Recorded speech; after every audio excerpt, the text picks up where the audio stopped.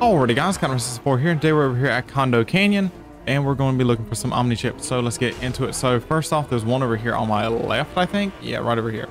There's one right over here at this little parking lot area, right by this vending machine. Wrong button. There we go. Okay, then there's one over here at the Con Canyon Pal Plaza. There we go. Big brain. And then there's one over there by the swimming pool, it seems.